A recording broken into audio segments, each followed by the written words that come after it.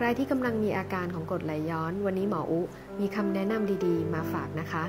ข้อ 1. ปรับการรับประทานอาหาร ให้แบ่งเป็นมื้อเล็กๆ ในปริมาณอาหารที่ลดลง แต่ว่าเพิ่มจำนวนมื้อแทน ข้อ 2. ควรเลี่ยงอาหารที่ย่อยยาก ควรรับประทานอาหารอ่อนๆ ที่ย่อยง่าย และหลีกเลี่ยงอาหารรสจัด อาหารที่มีรสเผ็ด ของมัน ของทอด ชา กาแฟ น้ำอัดลม โซดา และผลไม้ที่มีรสเปรี้ยว ข้อ 3. ควรหลีกเลี่ยงการดื่มน้ำพร้อมการรับประทานอาหาร หรือหลังรับประทานอาหารทันที หากต้องการดื่มน้ำควรดื่มน้ำก่อนอาหารอย่างน้อยครึ่งชั่วโมง หรือดื่มน้ำหลังจากรับประทานอาหารไปแล้วอย่างน้อย 45 นาทีถึง 1 ชั่วโมงค่ะ ข้อ 4. หลีกเลี่ยงการทานอาหารก่อนนอนอย่างน้อย 3 ชั่วโมง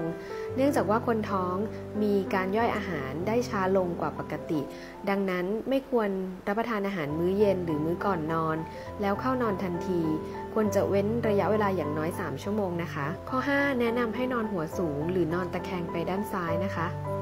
เพราะการนอนตะแคงขวาจะทำให้รูเปิดหลอดอาหาร อยู่ต่ำกว่าระดับของกระเพาะอาหารทำให้เกิดกรดไหลย้อนง่าย หากปรับเปลี่ยนพฤติกรรมแล้วอาการยังไม่ดีขึ้น ให้รีบมาพบแพทย์นะคะ เพราะอาจจะมีบางโรคที่มีอาการคล้ายคลึงกัน อย่างเช่น อาการจุกแน่นใต้ลิ้นปีกของโรคคันเป็นพิษ ดังนั้นหากอาการไม่ดีขึ้น ควรมาตรวจและปรึกษาแพทย์นะคะ ไหนคุณแม่ๆท่านไหนเคยมีอาการ ช่วยแชร์มาเล่าให้ฟังกันได้นะคะ ว่าทำยังไงถึงดีขึ้น หรือใครลองเอาวิธีของหมอไปใช้แล้ว อาการดีขึ้น ก็คอมเมนต์มาได้นะคะ